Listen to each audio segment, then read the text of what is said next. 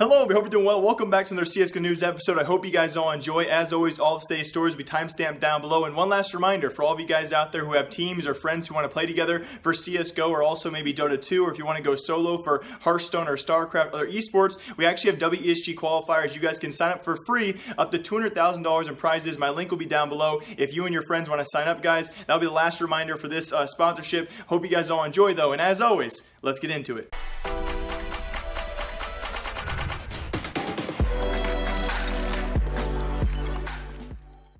And first off in CSGO News, of course you guys are very well aware we are still awaiting stickers. I know there's been several comments about Jake, why do you freak out about stickers? If you've been a long time viewer, you know exactly why. The last three or four majors have actually invested heavily into them, and I'm all about stickers. I think they're a great part of the community, especially because these capsules eventually go on sale for 25 cents a piece, and they're always such an integral part of the major. You know, the major, uh, of course, the organizer and the actual event itself, production quality matters a lot, but for me personally, when from an outside perspective, when it comes to CSGO, and uh, loving just collecting things, stickers have always always been a big part of the game, and so that's why I've been talking about stickers a lot. And as always, guys, the timestamps are always down below, so you can, you can always skip past the sticker segments. But again, uh, of course, we still have no stickers yet. Hopefully, maybe this weekend, or maybe, of course, uh, the most likely and latest possible is probably next week. If it goes any further past that, then something is definitely up. We're going to get keychains or something crappy instead. But on top of that, I do want to show you guys, if you've not seen this, actually a really cool uh, designer out there designed CSGO caricatures caricature. I can't get the word right, but you guys know what I mean. It's the first time we've ever seen his designs. He actually, in the same tweet, did say it's not going to be happening, but he was actually approached by Valve to do these,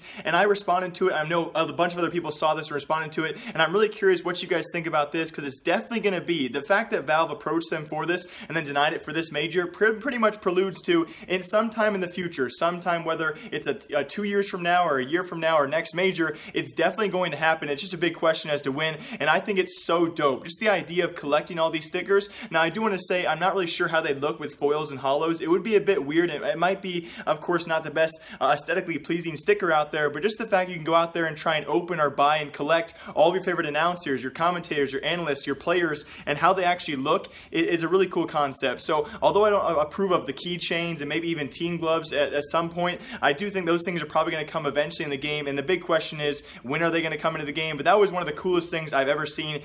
CSGO caricatures the word is stupid, but still, a really cool concept, guys. Hopefully coming in the future for CSGO. And also in CSGO news revolving around map pool, we talked about this in the past very briefly about the never really changing CSGO map pool. It's been the same set maps pretty much since the start of CSGO, and on top of that, the real only big changes out there have been the Dust 2 rework and occasional changes for a very, very small and minor changes for maps out there, and occasionally when a major comes around, they take one map out, they put another map in. This time around, of course, for the FACEIT major, it's going to be Cobblestone out, which might hurt viewership numbers. We'll wait on that, and of course, Dust 2 back in. So a big change for some teams out there, but overall the maps stay the same. And so I'm hoping for maybe some additional maps in the map pool in the future, maybe extend that map pool by one or two maps is what I'm hoping for, but we'll see if that actually happens. We actually have FMPONE who took to stream and actually leaked some possible cache reworks. Now I'm actually going to show you guys a video very shortly right here.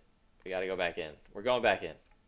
Oh, shit. And as well as we can try our best, I'll show it to you guys full screen. It's been kind of blurry. There's really no great screenshot of it, but the best way to actually look at this, and of course, he's been hinting at cache reworks for a long, long time now. It's expected sometime in 2019 we will see these reworks, and it looks pretty awesome. Not gonna lie, if you guys got the same kind of overgrown vibe from like Call of Duty with the moss kind of growing on the walls, everything kind of looks, if you could compare it to another CSGO map out there, I agree with some comments. It looks like Aztec. Honestly, Aztec's a map I used to stream a lot on this channel as well. It looks like the kind of the moss and the grass growing out of nowhere, the, the it looks almost as if the map is deteriorating or kind of being taken over by the world or by nature itself, and it looks very cool. And on top of that, some very last news for map pools, we actually have new compatibility versions for both Train and Mirage, and I think they're only minor bug fixes, but whenever they update these compatibility versions, it does mean changes are coming to those maps. As of right now, for Train and Mirage, I think it's minor changes, but for Cache 2019, we should see some big graphical changes, uh, thanks to FMPONE leaking that on, on stream or did he do it on purpose? And in our most recent ESEA drama out there, I do want to clarify before we get into the story, I know there are plenty of reasons to hate ESEA. They've done a lot of sketchy things in the past that people continue to hate on them for. I do want to say between FACEIT, ESEA, from what I've heard from opinions,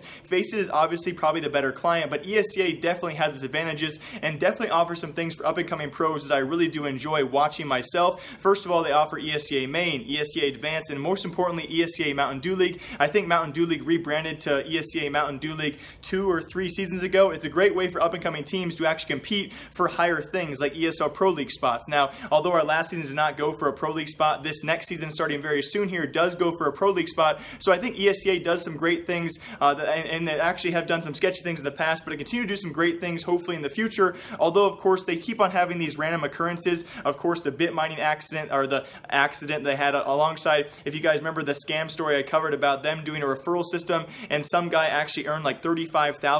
His name is Mario. He's a friend of mine on Twitter. He earned $35,000 via ESEA's referral system and they just didn't pay him for it. So there's a lot of sketchy things in their past. And alongside that, we actually had this story released today all around Team One, a Brazilian team up and coming, doing very well in ESEA Advanced. Now, why I want to clarify ESEA Advanced because it's actually uh, the, for a relegation tournament held by ESEA. They are taking the bottom seven Mountain Dew League teams pretty much by this point, and actually uh, clarified in the post. So I'll link down below for all of you. These bottom seven teams, which you can imagine in Mountain Dew League, are a lot of teams that are breaking up. Players are leaving. Players are coming and going. There's really no organizational support for them. Usually, the bottom seven of your Mountain Dew League teams are very, very bad. Now, not to say that your top nine of Mount or ESEA Advanced are any better, but they take the top, the bottom seven of ESEA Mountain Dew League teams competing and the top nine in ESEA Advanced, and they clash them together for 16 teams, and the top four teams will actually earn spots back into Mountain Dew League. Now, this is a very big thing for many teams out there because, like I said previously, Mountain Dew League is a great way to actually earn an ESL Pro League spot, especially for a team like Team One, a Brazilian team who's looking very good and dominant in ESEA uh, Advanced, who has a chance at definitely earning or potentially earning a future Pro League spot, at least somewhere down the line. Now, the big problem here with this post is apparently ESEA during this relegation tournament, they are having the number one and the number two teams out of advance compete with each other in the very first round, which does mean in a single elimination tournament, one of them will be out. Now, the big controversy as well, of course, we have a lot of backlash because of what ESEA has done in the past. I think it's a pretty simple fix going forward past this relegation tournament. I know a lot of ESEA mods have already replied to that post. Just change the tournament format. There is no way when you take the bottom seven Mountain Dew League teams and the top nine ESEA advanced teams that the num number one and number two seeds out of advance play each other in round one. There is no tournament format that should ever exist where that does happen because both those teams who finish number one and number two in advance do not deserve to be eliminated in round one with a chance of four teams to actually go through. It just they should be in opposite sides of the bracket. I don't think the bottom seven of Mountain Dew League should take all of your top seeds. That just shouldn't be how it is. So hopefully ESEA does fix this. I understand it's a pretty big issue, but again, it's probably a simple fix going forward. I do realize it, it definitely heavily affects these teams, but it, again, it's been in the rule book. There's another argument for this. It's always been in the rule book that how this tournament does play out. Just change the rules for next time, and I won't have a problem with it. I do feel bad for Team One as well as the team they're playing against, Big Frames, because both those teams looked pretty solid throughout ESEA Advanced, and unfortunately, one of them will not earn their spot in Mountain Dew League most likely. And very last thing, CSGO news, guys, we have a lot of random news out there. I do want to warn you, we have officially entered the dead period of CSGO. I tweeted this out last night. Unfortunately enough, guys, there's going to be a lot less news videos until after the major, when roster changes happen, when other teams are formed. Although as of right now, there's a lot of rumors about when the new French team is going to form. Apparently, it's going to be the last day of August, August 31st. We should see Team Vitality apparently sign that new French roster, which is very exciting. On top of that, there's some other news. We actually had a video from Taz, which for a second I got very confused because I realized that Taz is still on Kinguin. He's actually showing us the Zotac Cup. Uh, apparently, the conditions over there are not are not very very good for the team. It kind of brings flashbacks to WESG. So thanks to Taz for showing us conditions over there for Zotac Cup. Now I'm not really sure. I couldn't translate. Maybe one of you guys could. I wasn't sure if he was making fun of it or, or you know giving it props, but it did seem he was not very happy with the Zotac Cup conditions. And speaking of, of Taz and maybe his former teammates, we do apparently have Virtus Pro. Now, if you guys have been watching the Dota 2 International, it was Virtus Pro over there actually showing off their new jerseys. Although the sponsorship agreement, if you guys remember when they first announced their newest sponsor, why they changed their colors from, of course, the the OG um, uh, white, uh, black, and orange stuff to the, to the to the Joker colors, the weird ones. Apparently, it was not going to start until 2019. Although we actually have confirmed Pasha the man looking better than ever. Yes, Virtus Pro is now confirmed they actually have already started wearing their brand new jerseys. Now, also for you guys, I kind of wanted to mention some, some funny Twitter news as well. We actually had, thanks to Brian, I'll, I'll link his Twitter down below, kind of a funny CSGO account. He actually made sure to note this player on screen who was apparently 20 years old. And I had, I had no idea that he was going to respond to me in this post. And I'm going to guess his name is pronounced Ponk, but he actually reached out to me on Twitter. Uh, he responded to the Twitter post itself when I said he looked like a 14-year-old Freakazoid. And tell me I'm wrong. Look at that face. How crazy is that? Like, look at Freakazoid and look at Ponk who is apparently actually 20 years old. He does confirm that, but he has a baby face like me. So I'm so sorry if you're watching this video, Ponk. make sure to correct me if I'm pronouncing your name incorrectly, but that was just in weird news. But also on top of that, guys, ENCE